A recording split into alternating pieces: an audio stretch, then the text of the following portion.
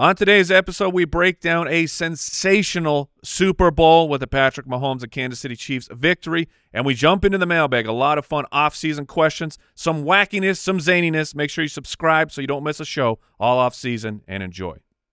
Hey, this is Patrick Mahomes, quarterback for the Kansas City Chiefs, and you're listening to the Fantasy Footballers Podcast.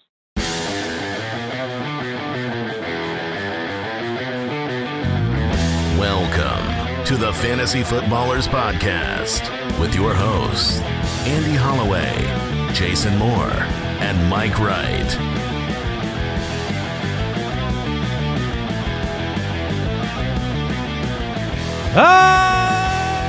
Ah, welcome in.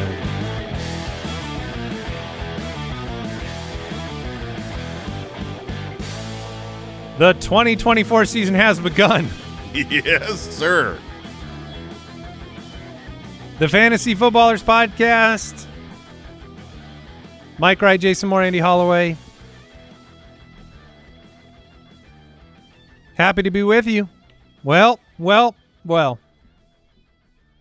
Patrick does it again. Looks like everyone you knew was right. Oh yeah, yeah, yeah. Yeah. I mean, Yeah. uh, that's as close as it gets. For I, I was really kind of rooting for a um a double overtime, but I guess It you know, wouldn't have mattered because they would have just won in double I know, overtime. I know, I know. And um, it- it- this is our first opportunity to react to what you saw two days ago. Uh, thrilling, Mm-hmm. repetitive. Slow burn. You know, it was a slow burn, and you you you guys know me. Like I'm Yeah. all offense. I'll take. You know, if the NFL were to say we're doing ten guys on defense, I would be like, heck yeah. I absolutely loved that game. I mean, I just thought it was. It, it was one It of was the best Super Bowls I can remember. I, I thought it was tremendous. First half was my fault.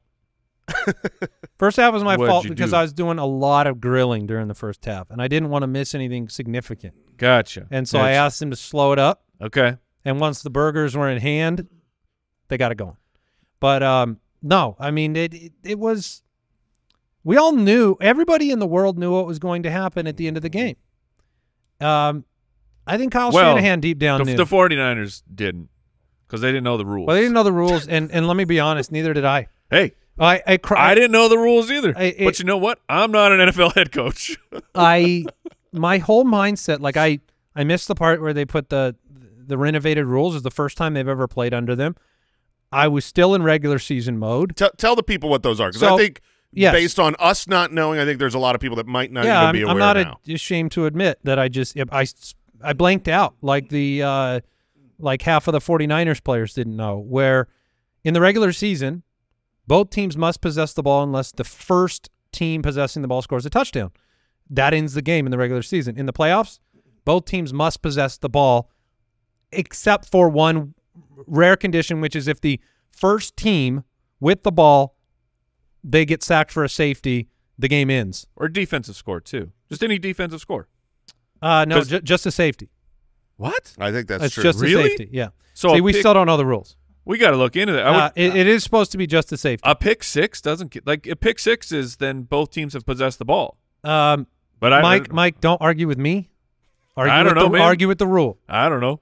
Um, you can you can correct me. I could be wrong, but I went into overtime just saying like on that fourth down play when they kicked the field goal with Jake Moody down in the near the red zone. I was like, you have to go for it there because you don't want to give Mahomes the ball, but he would have gotten the ball anyway. And then the Chiefs have come out and said they were going to go for two if they had they had scored the touchdown, and they would have gotten the two because they're the Chiefs. And uh, here we are. Kyle Shanahan is sad again. This is the this is the third Super Bowl of sadness. he should stop trying to get to the Super Bowl. You know what I mean? Like it doesn't go well for him, so he he can avoid this sadness So if he just Just like celebrate the NFC Championship game like he won the Super Bowl, no. I'm and just then sa- say, "Hey, you guys take it from here. I did my job." I'm saying slow down on the winning. Just, you know what I mean? Hmm. You, if you lose a little earlier in the season, you don't have I see what you're quite saying. as significant a loss. Yeah, so so we we have another we have a dynasty, and we already have reports. Andy Reid, Travis Kelce, both returning. They'll have an opportunity next year, likely with far better wide receivers, to do what no team in the history of the National Football League has ever done, which is to win three consecutive Super Bowls. Uh, this will be the storyline of the entire year, and it's exactly what Roger Goodell would like it to be. Yeah, and for fantasy football, the, fantasy football world at least, Travis Kelce has let us know that he is going for the three-peat. So he he'll be back. Yeah. So um, Also, he was very mad at Andy Reid. Yes. that blew my mind when he was screaming at Andy Reid like that right in his face. Well, uh, I mean, m- mistakes happened when he was not on the field, and he was. I mean, if I, Travis Kelce wasn't getting the ball, and he was just like, "Get me the ball, throw me, plant, scheme me up, man." Well, I, I would have been mad if I were a superstar too. So and that not was- getting the ball. that was the kind of like second story. Taylor's watching this. you know that, right? She's up there. The Super Bowl was the kind of the second big storyline on Sunday. Mm-hmm. Mm-hmm. Yeah. Oh yeah. The big one, obviously, the Ultimate Draft Kit. Obviously. baby. available right now at ultimatedraftkit.com. In fact, if you order it before March 1st, you get a chance to come play with us in the Listener League. We're going to give an entry away to our Listener League. Uh, you get it at the lowest possible price. You get $15 worth of gift cards uh, to Shop Ballers and Fantasy Champs. You get a free digital copy of our uh, book, which is the uh, Fantasy Football Unleashed 55 Tips, Tricks, and Ways to. Thank you. To win. And uh, the mobile app is available now too. So ultimatedraftkit.com. This is the time you want to get in there. Uh, if you get the UDK Plus, all of our Dynasty Pass content is available right now, which means Sure is. rookie rankings, Dynasty startup rankings, uh, team opportunity pages, trade targets for Dynasty, um, a whole lot of great Dynasty resources. Which, look, we're we're jumping right in. I mean, it's 2024 preseason right now. Yeah, and, and even if even though you're getting the dynasty stuff right now, it will continue to update as the season goes along. And obviously, if you're getting the dynasty information, you're getting the UDK plus, which means you'll have the the draft analyzer for after your draft. You'll have in season content for any DFS and uh, betting that we do throughout the year. It's just a really good deal right now. Um, and like Andy said, if you get it before March 1st, you can maybe get in the listener league, play with us. Anything to add, Mike? Are you you all good? Nope. I mean, well, it's great. The UDK. Mm-hmm. I love it. Personal reactions to the Super Bowl. I didn't want I to love see it. What sad Shanahan. I had picked the 49ers to win by three. You guys Yeah. both picked the Chiefs. You're obviously geniuses. I mean, Thank you. just Thank you. Yeah. unrivaled. Uh, Yeah. I, what What's the situation in Deucer's Alley? Who were you guys rooting for? I was pulling for the Niners. You Yeah. were. Yeah, I rooting for Niners. Now that Mm. that actually, Papa Josh, Niners. I was actually shocked by that reply from Al Borland because you you you went a different direction than Jordan Love, your quarterback, because Jordan Love said verbatim, "The Niners just beat us. There's no way I can root for them." But I guess you don't really. you Yeah, still- I mean, there's some advantage to losing to the number one Yeah. team. And Oh, there's is that the also- story you I. I like. Brock Purdy a lot. So that Mm. is a common ration, you know, a way to rationalize your defeat. Yeah. Like I've done that before. Like if when we played flag football, if the team that beat us went on to win the title, you're like, ah, I lost Uh-huh. to the, Yeah. I lost to the best. For sure. Uh, But you, the I guess that that means the Packers did not lose to the best. I think most of the world was rooting for the 49ers. Uh, it's it's fun to see greatness, to see a dynasty and all that, but also you get sick of it. You get tired of it. I was not rooting for the Chiefs until they were up against the Niners. As a Cardinal fan, um, it's it's against my religion to Yes. root for Yeah. the 49ers. Yeah, I, I guess to be fair, I was kind of rooting hard for the Lions on Sunday. right. Yeah. So, all right, uh, we had Kelce with nine for ninety three in that game. Mecole Hardman three for fifty seven because of course.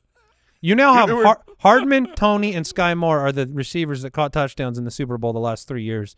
Justin Watson and Mecole Hardman, the leading wide receivers. Like Rashee Rice did very little.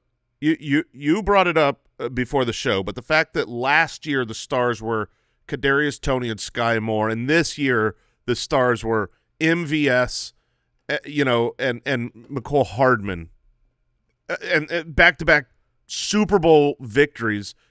They don't. I mean, goodness gracious, you don't. How is that possible? How can you have that level of? You still had Travis. Uh, sure, I mean you've got you've got Nine Kelce for there, but 93. I I mean, it just seems impossible that those weapons can win a Super Bowl. they had a super difficult path getting to the Super Bowl and to win it, and it's just we're watching a legend.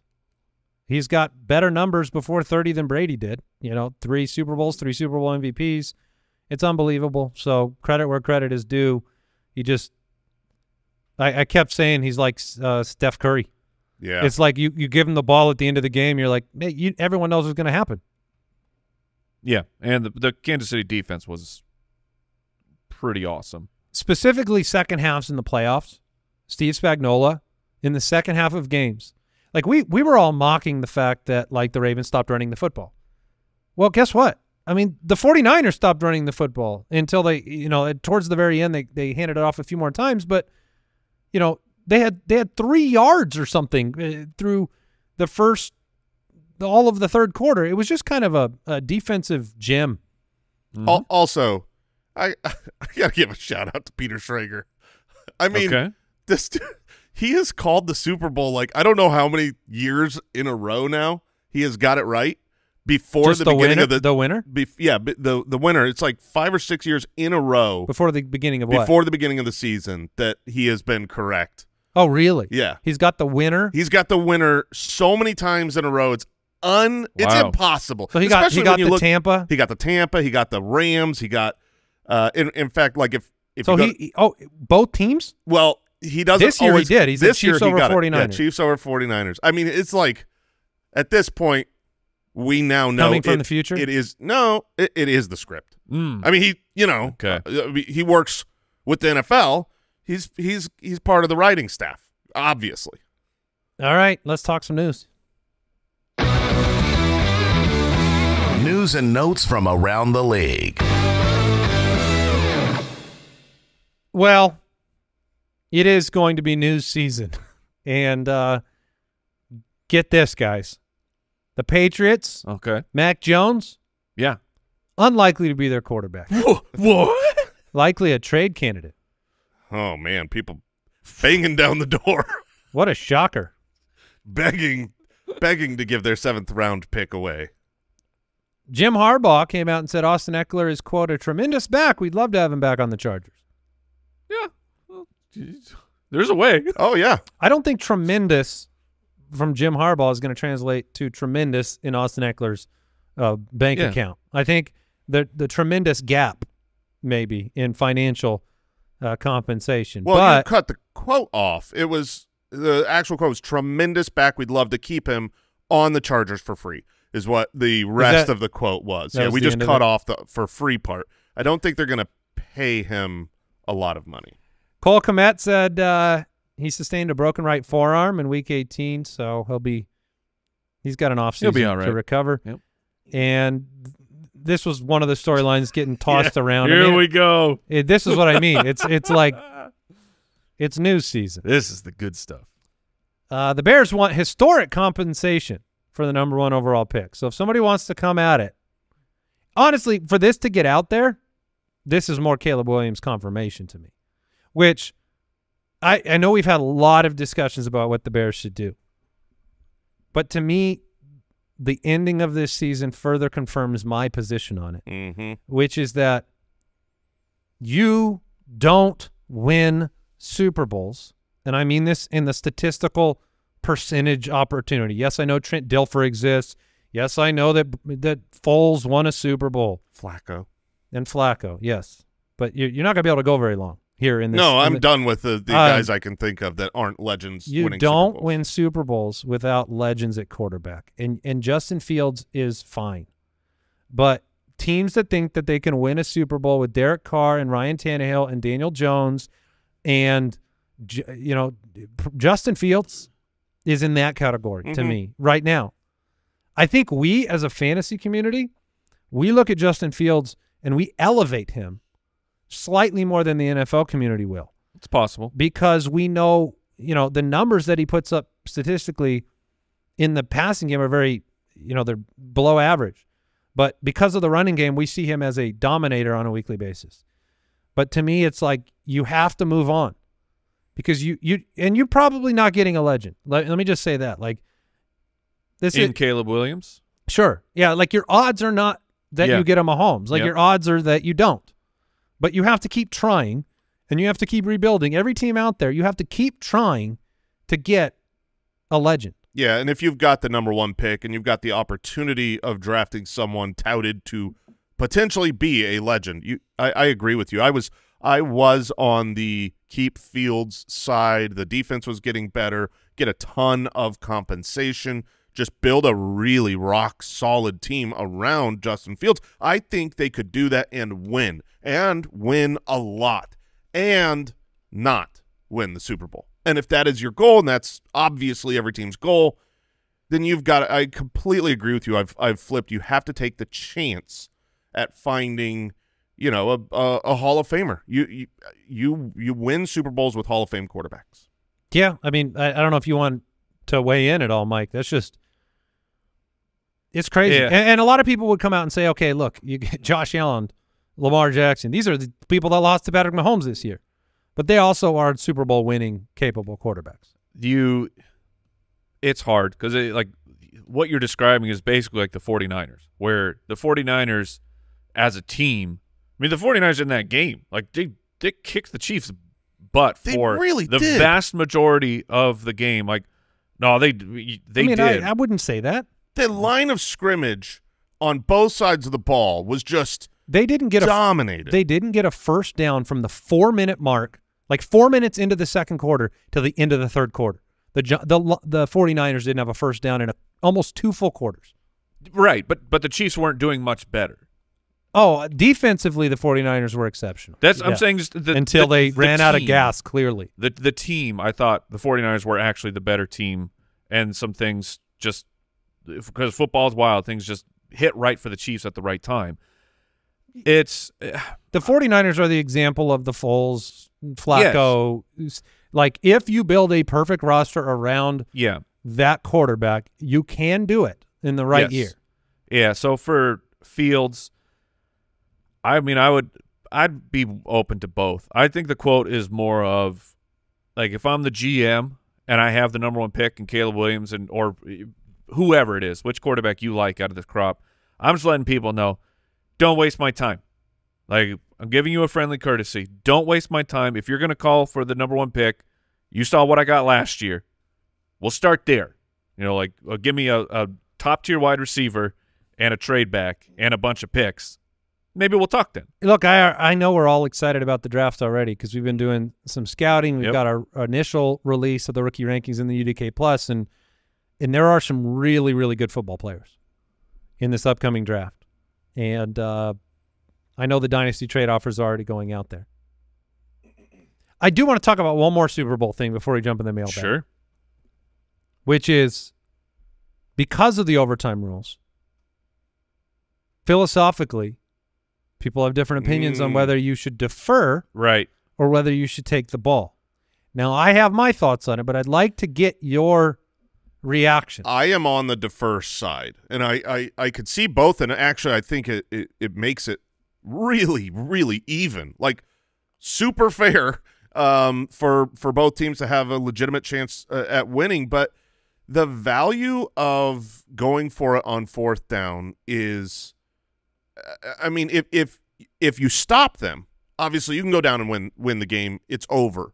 But if you don't stop them and they come down and score a touchdown or a field goal, now you get four downs every single play, and it's hard. It's hard to stop. Like Four downs per play is really special. it's That's unique. It's hard to stop any NFL team that is constantly going for it on fourth that knows on second down that what they yes can call yes as a play call, they've got three more downs to go. It's um I think it's a really unfair advantage where if a team actually played that way, like you just can't. You can't risk it. When it goes wrong, you're going to get just shoveled poop all over you as the head coach. But I do think if a team actually played that way, they would score so many points and win a lot of games because going for it on fourth, uh, like you've seen the, like there was some college, I, I think it was a college or, or Yeah. maybe it was a high school. i think where- it was a high school where um you know they, they were like this last place team and they just decided we're going to go for it on every single Yeah. fourth down no punts right never punt and and, and it like completely changed the program obviously it's very different from the NFL but I think yeah, the ball turning the ball over in your own zone it, two times in a row will end that. The That'll be the end. yeah, the I, going with that strategy, you're going to have huge wins or huge losses. Like there, there won't be close games, but I believe the follow up on the story of that coach was then he was of course picked up by a different program, and then they just got shellacked. Yeah, I mean, and it, there's It a fourth and four and fourth and fifteen. I mean, th- those are just vastly different things. To me, I would have taken the ball. One, because the 49ers defense had been on the field so much and they needed rest. And two, because if the game ends up tied on two field goals, you're the first team in sudden death in that situation. But I do agree with your the basic thing you said, Jay, which is is really fair. If there's a debate to be had now in overtime on whether you defer or take the ball, Mm-hmm. that tells you they designed it the right way. Yes. As opposed to whoever wins the coin toss wins the game. I mean that that's how it was. And Yeah, the, the it's wa- it's it's so wild of the the pressure to get a touchdown with that first possession is like of not just making up a well now the other team has to score a touchdown but I'm saying you kick the field goal and now what Jason was saying of this team has four downs and all they have to get to keep the game going is a field goal but they can now have a huge opportunity to go get a Yeah. touchdown. I would defer. I don't think you're wrong of the A lot more pressure on that side. looking at your team of my defense is exhausted. Right. So which the the 49ers got their defense a massive amount of rest on defense with that uh, with the opening drive of overtime. So they should have been ready to go. The, the 49ers had two, I mean, when it comes down to it, they had two opportunities for their defense to get a stop. At the end of regulation, at the end of overtime, they couldn't do it either time, and that was the difference. and the Either stop and you win the Super Bowl. did you guys see the clip of the Hardman touchdown was almost identically what the uh, Oh, yeah. the other the Toney Yeah. touchdown was in the yeah, last because Super Andy Bowl. Reid eats Just- your he just- he eats your lunch, man. he sat on he, that he- play. he- he's That's why he's he yeah. eats your lunch. Mhm. Let's Yeah. try it again with those nuggies. Yeah. All right. Quick break. Back with some mailbag today.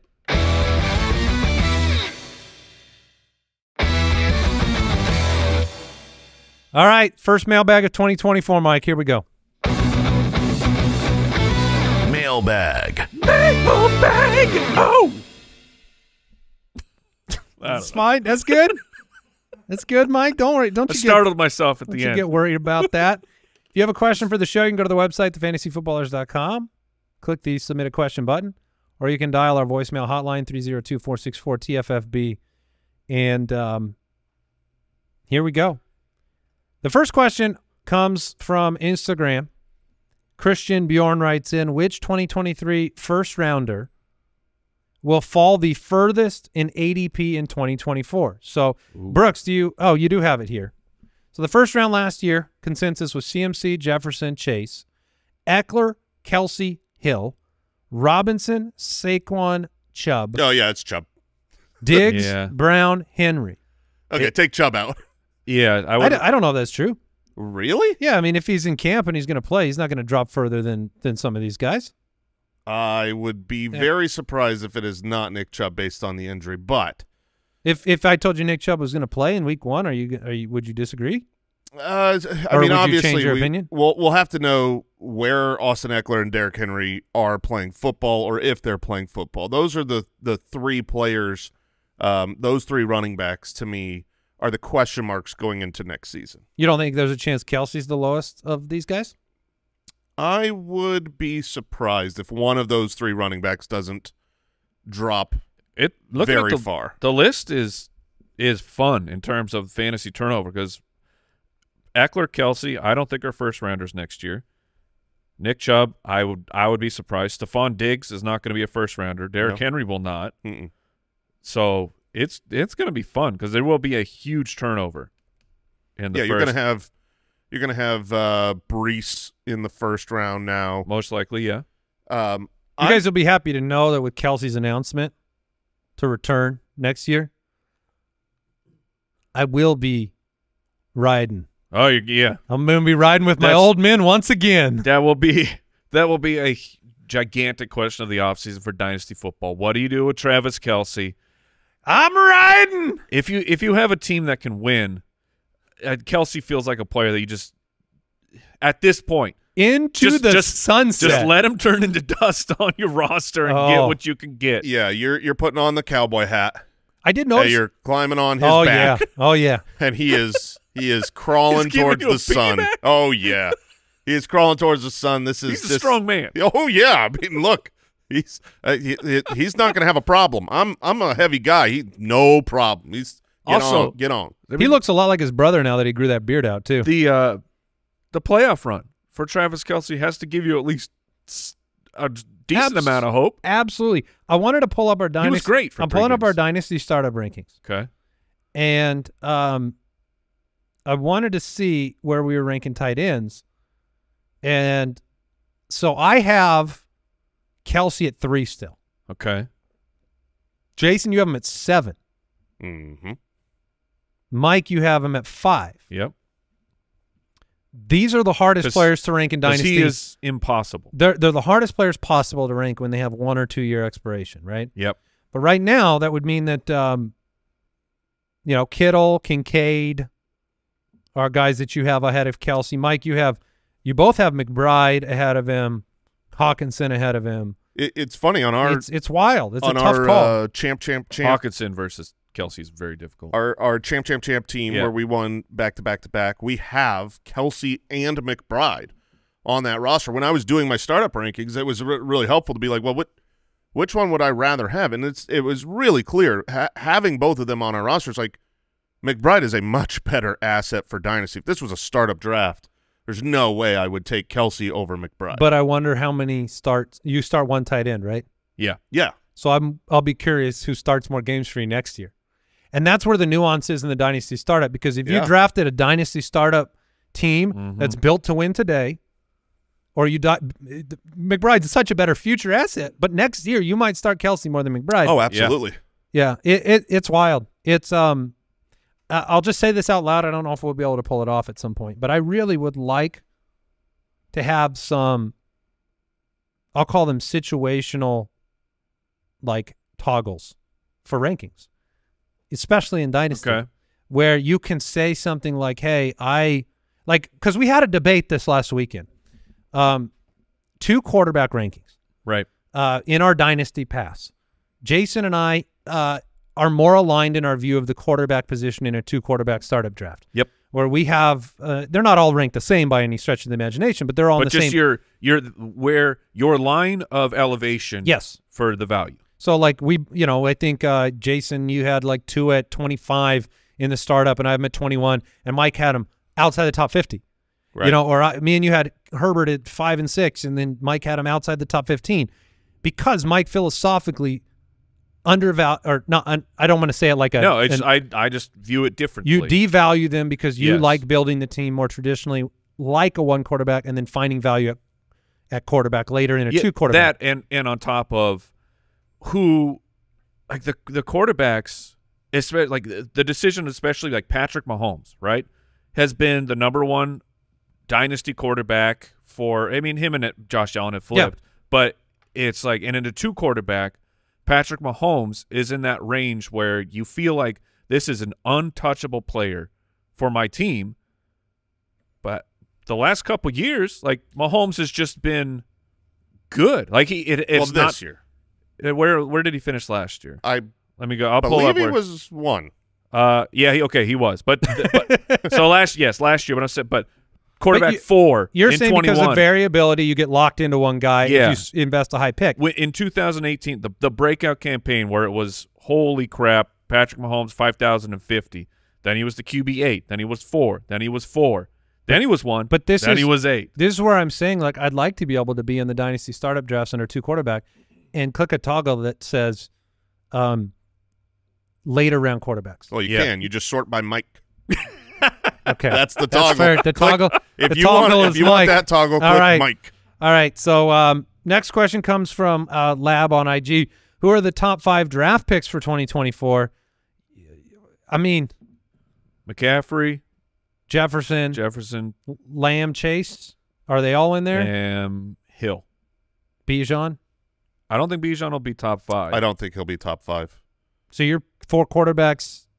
So you you just went uh, exactly what the Uh, yeah, oh, with the best ball ADP that's what the is, best yeah. ball ADP is. But I think that there are going to be there'll be discussions for Bijan if you get excitement around Robinson, Zac Robinson coming in. Um, maybe Breece Hall. I don't know. I don't know. You agree with that, Jay? Four wide receivers and, Yeah, a, and a running back. I, I do think it'll be that. All right. Brandon writes in keeper pick for 2024. Would you rather keep Gibbs or Mark Andrews? When you're looking at keeper selections, this is a good kind of overview opportunity. If uh, this question does not have any round compensation stated, generally you want to look at keeper situations like this relative to where those players are going to go in the actual draft. Jahmyr Gibbs is going to go ahead of Mark Andrews. For sure. And because of that, you you want to keep Jahmyr Gibbs. Yeah, I mean, it, sometimes it's it's really simple. It's just math. Um, you you don't want to, if if you really want Andrews, you, then draft him. You could you can still draft him. You know, ahead of you, you can't. Gibbs will go. I think a full Second round, round, yeah. ahead of Yep. Andrews. I agree. Um, I think Andrews has a has a chance to be undervalued in the upcoming draft because we didn't see him at the end of the year, and so and the LaPorta will will grab a lot of headlines and Kelce returning. So I think Andrews will be a third round pick. Yeah, I I he he'll probably be the third drafted tight end. I think he goes behind LaPorta and Kelce, and if that is the case, then he'll be a, a very good value so long as he can stay healthy. I mean, that's that's the knock with Andrews. When he's Yeah, out there, It's been a problem. he's great. Uh, he just needs to stay out there. All right, another question coming in from Max. He says, keeper pick, would you take DJ Moore for a fifth rounder or Chris Olave for a second rounder?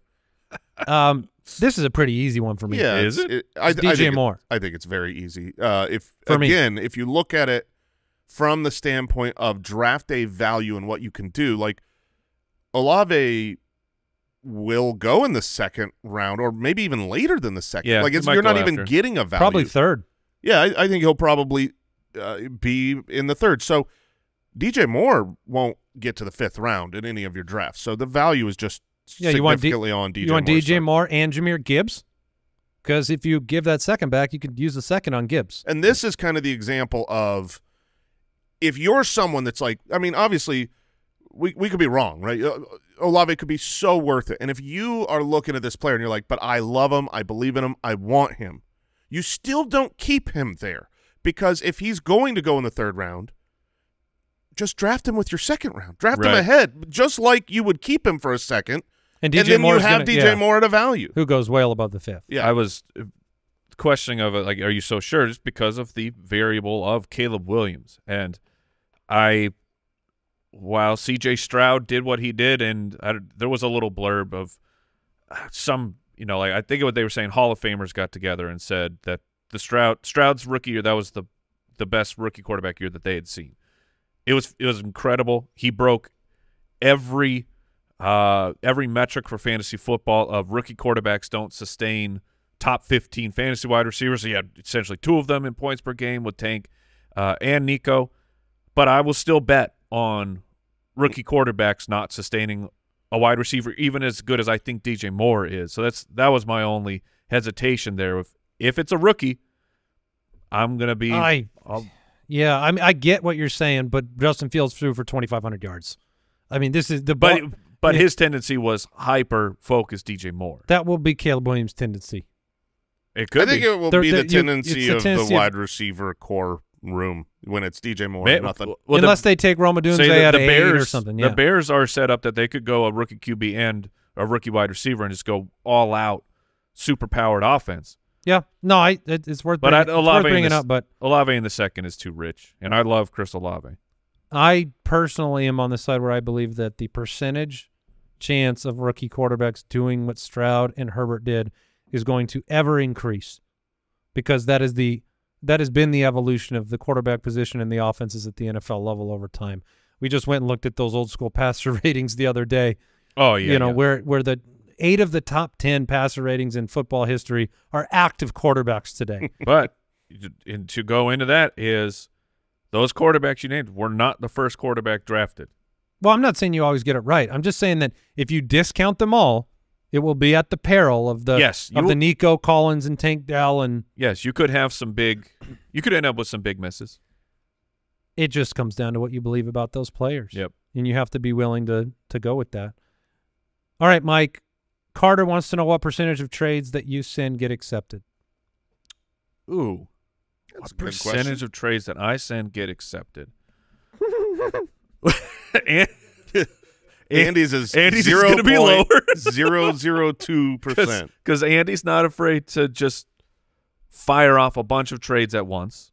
Not saying you don't put thought into it, but you're No, you can say it however you want, you're man. you're you are more likely to shoot a trade off. I when it, It- comes, I really overthink even sending the trade offer. Uh, If you fire a hundred golf balls at a green, right? one of them goes in. Two two might roll in.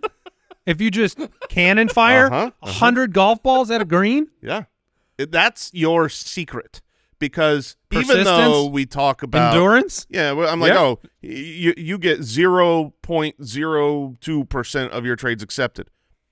You still make the most total trades completed, which is incredible. Um, you you, s- you do you think about trades? Do you just go- Strategically? Oh, 100%. Yeah. I'm, I'm saying like, do you just open it up and go, "This would be fun"? Click, click, click, click, no, click, no. I, I don't. I think I think I I sit down and I I try to find two or three angles for every team, and then I start there.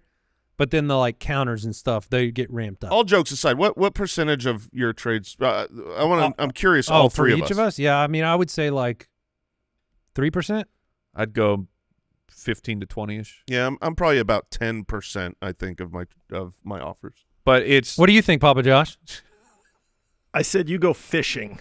yeah, Yeah, But I, it- I mean, but it works. And it, to gotta have the right bait, man. of Andy's strategy, and we talk about this a lot. Of when you're making trades, hyper targeting one player, like, because I'm going to get that guy.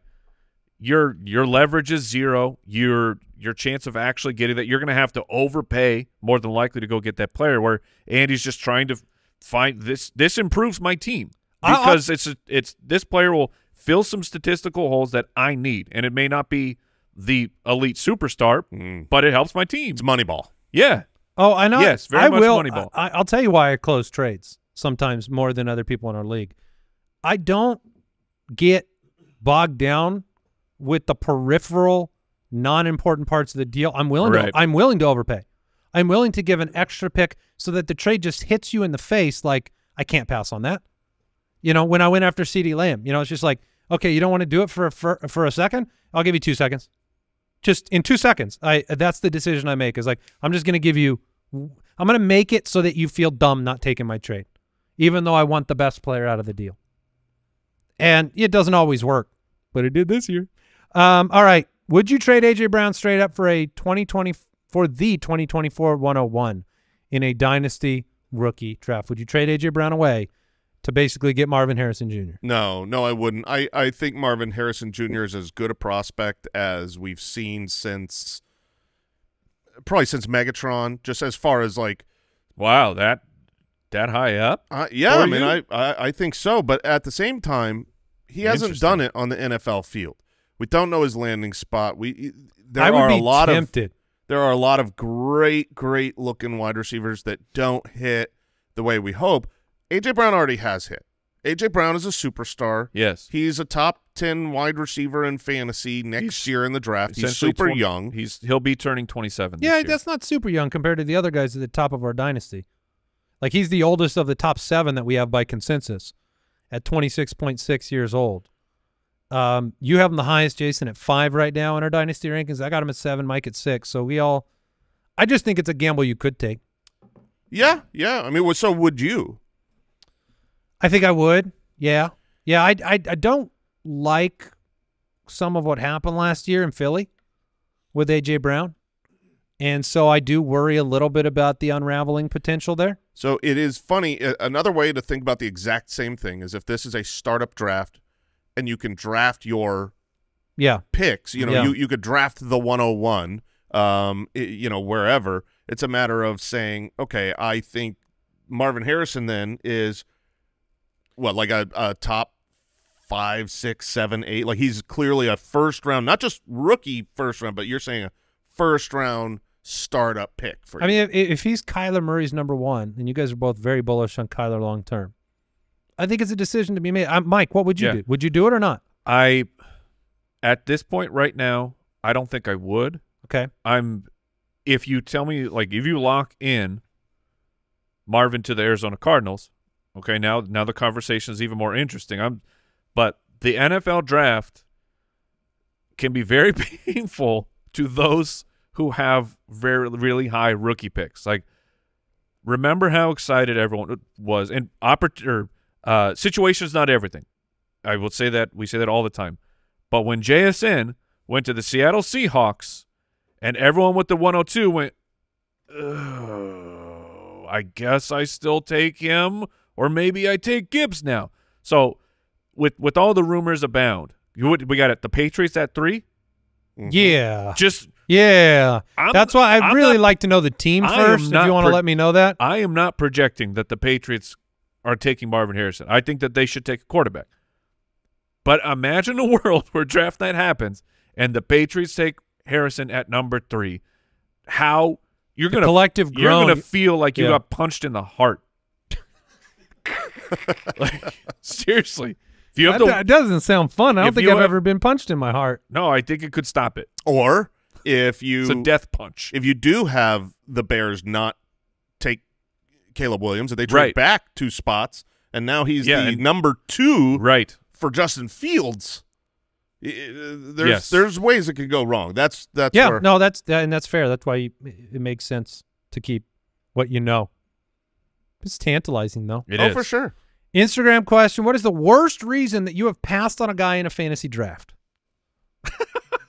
The worst. The uh, Okay. I think I know that I probably have passed on players because I almost don't want your takes to be right about them. Mm, okay. That's and the prob- truth. That, I mean, oh, don't give me that. I'm not alone. free. I'm not alone there, probably. Okay. I mean, I does that make sense? Yo, oh, yeah, one hundred percent. That I'm is- sure I've been that is sitting there- hilarious. I'm sure I've been sitting there with Michael Pittman at a value in a Yeah. draft before. Yeah. Najee Harris, you think? I've probably made some wrong decisions before. That's funny. I don't know. That's I- the best thing I can come up with. I think it's it's when you've been Oh man. burned by a player. When, when Oh, you, yeah. when you've got the scars from a previous season, and you're like, "Dad, Mike that didn't dude- have a lot of D'Andre Swift. Is right?" what you're saying? Exactly. Yeah. Mike wouldn't have drafted D'Andre Swift in the Yeah. undrafted ranks. He wouldn't put him on the roster, even if he's a value uh, last year because of the scars from the year prior. I think that's the most common poor reason to to uh, miss out on a pick, but it's going to keep happening. Do you have any must-have players already for next year's draft, regardless of value? This is a question from Irish Boy Eight on Instagram. Man.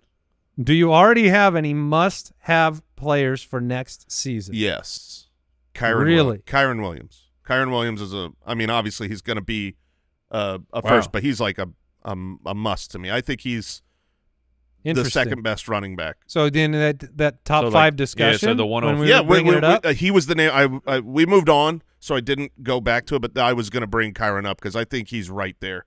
that's I mean that's a profound statement. Um, the, no one's on the must draft list, but the the short list of I'm re- really intrigued would be like Anthony Richardson, assuming his shoulder is okay because it it was a a, a tough surgery to come back from.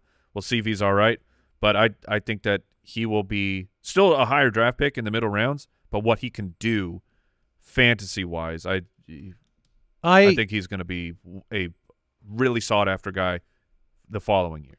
I think Tank Dell's the name coming to mind. Okay. Did you see CJ Stroud talk about his super team? Mm-mm.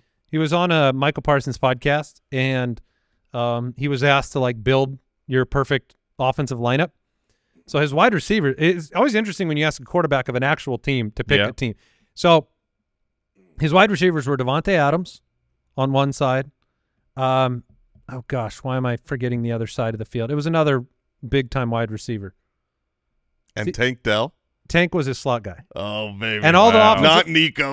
No, no, Well, no. And the Nico's not a- offense, offensive linemen were, you know, from other teams, and you know, it's like Nico's not. Lane slot Jackson was his right tackle, and his his running back. Um, I don't remember who was running. Oh, it was Jahmyr Gibbs was his running back. You know what I mean? Like, so he built this super team out, but Tank Dell was a slot guy, and I, I just think he's so talented. Like, if you remember years ago when we kind of like saw Stefon Diggs in Minnesota, and it was like, oh, well, that guy's going to be a superstar. I don't care where he's drafted. Like Tank Dell's on that path. So, all right, quick break. Back with some more questions.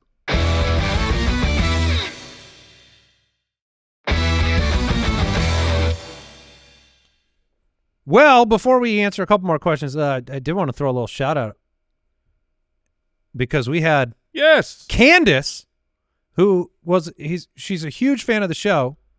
She was on Wheel of Fortune last week That's so awesome. for NFL Superfan Week, and she wanted she said she wanted to pimp the show, but they wouldn't let her. yeah. What's So, that all about? what's Say that about? Jack. Yeah. Don't mention the name of that show. Is Say Jack. Oh still yeah, on there? yeah. We're not talking about their show. Yeah. It's the We're- one with the the big wheel. You can make a fortune. You can make a lot of money. What? But shout out to uh, Yeah. Shout out Candace, to who went to the bonus round. If you could go on any game show, which one would you go on? I'll tell you right now, I don't know the answer, but it will be the one with the least embarrassment possible to me. Okay, you want to go low I- stakes. I low. I do not like. I think it's um. so it's Price not- is Right. It's not millionaire. No, I think it's Price is Right. Where like the worst thing that happens to me is I don't get a treadmill. You know what I mean? Right. But and you lose, and then it's now someone else is up. Yeah, playing again. I don't- I we do- move on real fast. I can't be there. I can't be there and do the like the Wheel of Fortune when they misread the the answer. Oh, that's oh, oh man. yeah. Some And of those videos. I mean- Those can be brutal. Those- I can't be in that position because when I'm in when the pressure's on, I'm afraid I'm going to shrink. yeah. And I don't know. Maybe maybe I come through big time. Our own Al Borland was on a game show on a cruise ship this past week Wait, what? in front of 2,000 people and won. What? You're I darn am not- right. What? What game? It was with his son. Uh, it was called "What's Age Got to Do with It," and it's a, a parent-child competition. Against But he won it. Wow. So oh, that's a man. man that doesn't can't wait for shrink. this story. At least in international waters. I had the I had one time where uh, one of the Disneys, and I think it was basically it was like Who Wants to Be a Millionaire, but everyone gets to play, and Did you win it? no, no, Oh. but the uh you as as the person is playing, everyone in the audience is also playing, but time is a massive factor in it. So I mean, you got to you got to get it in, be right, and then there was about the halfway point before the next person comes up, and so they show you know who's leading. I was leading, and I went into a full panic attack. Oh, yeah? because it was you're like The knowledge of the fact you were winning. all you want is, oh, dude, I want to go do it. And then I'm actually staring down, and I'm just, you know, in front of 50 people or whatever. And the fact that I almost got to go up there, I just start sweating. My hands are all shaking. My heart starts going like 150. So you got you have it a, would be tough. a game show, Jason? Yeah, I mean it's not it's not as uh, big a in to win, but man, I would love to do the Family Feud. Yeah. that's that's just fun. Yeah. Like that game is fun. They must drive it home to every person on that show that they have to clap and say good answer. No They have to. Yes. yeah, like that. sure. Like if you don't do it, they will. The big hook will come and grab Yeah, you. you're not allowed on the show if you don't say good answer. Yeah. good answer. All right. Um, Noah wants to know what Tyreek Hill's dynasty value is. Is- Is it a good time to trade him away? Uh, you know, Ty- Trade him to me. My team could use him. I was going to say Tyreek is is one of those assets in Dynasty where he's very, very, very valuable to a contender, and he is not the right piece for a rebuild. Um, I, I think he has two more seasons under contract. How and he, whether or not he follows through, he told us. Yes. he told the public when he was going to retire. I think it was It was that it was he was, Was going to finish more? out this contract and then walk away. That was what he said. Obviously, things change. Um, plenty of players walk away when they don't expect and stay longer than they thought.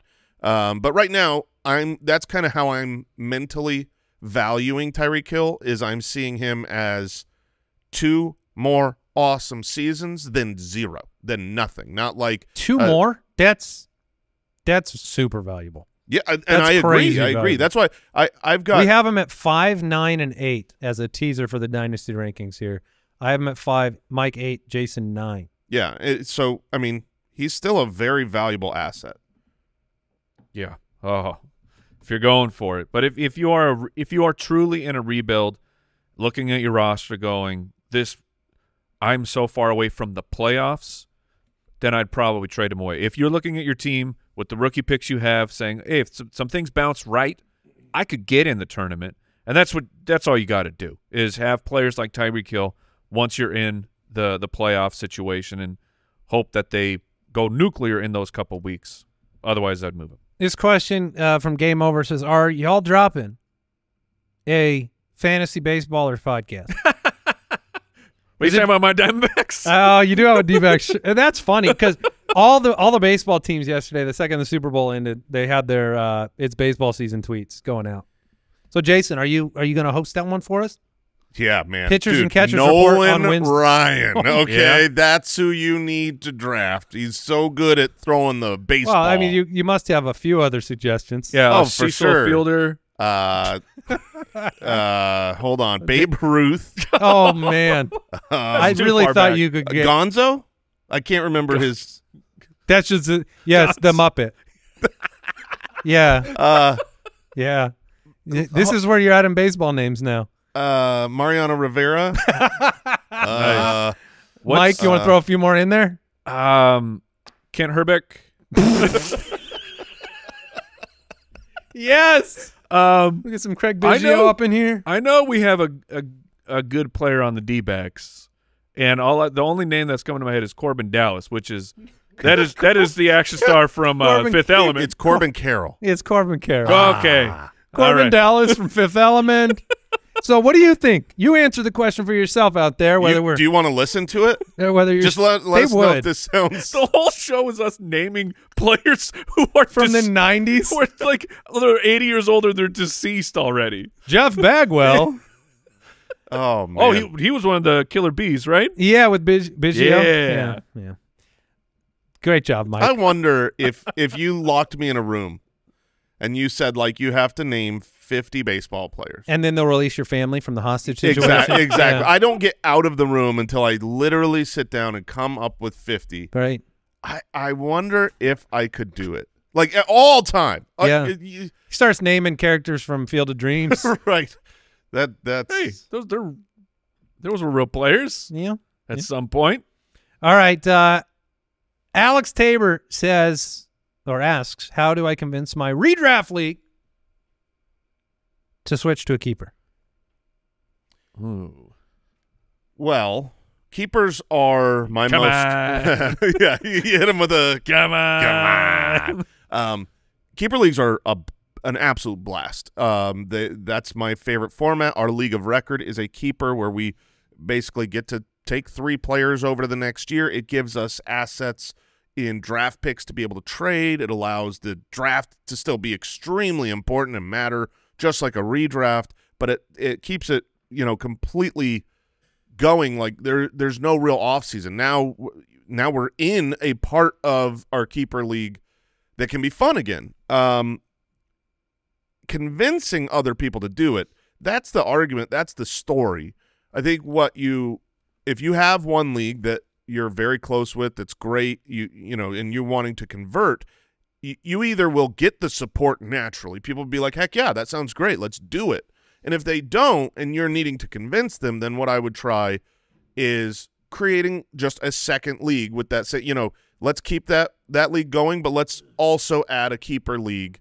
Um, that would be my only advice of being able to try to convince people who aren't already in it. Yeah, the the the part that I like about the keeper leagues is um this the changes strategy a bit, but then I've I've become more invested in certain players because you end up it, it's not all the time, but sometimes you'll you'll have a guy kept for three or four years, which I actually think is more of a rarity now. But when you find that one player and you hit when they're in Antonio Brown In is times, Is yes. yours. Like Yeah. Antonio Brown is a is Yeah, we Mike know we know him as Mike's. Yeah, and you guys, you you didn't get to the experience. No, it was a the, tor- it was a torture chamber. the greatness that was Antonio Brown. Yeah, and that's why I'm I'm really hoping I'm beginning that that with CD. the CeeDee Lamb lineage Hey, here. you and me both, both brothers. Broth, you and me broth. All right, we're gonna we're gonna wrap it up. That's gonna be it. Thank you for joining us today. We'll be back with another show on Thursday, a rookie review episode. So, uh, for those of you like us, utterly obsessed with fantasy football, we don't go away. We kick it into gear right here, right now. UltimateDraftKit.com if you want to pick up the UDK and the UDK Plus. It's available right now at the lowest possible price. It is a pre-order discount. UDK Plus gives you access to all those dynasty rankings re we referenced today, so you can uh, set the table for a great 2024. Bring home that Foot Clan title. Until next time, for Kent Hrbek, Jeff Bagwell, and Nolan Ryan, this is the Fantasy Footballers. Take care. Goodbye.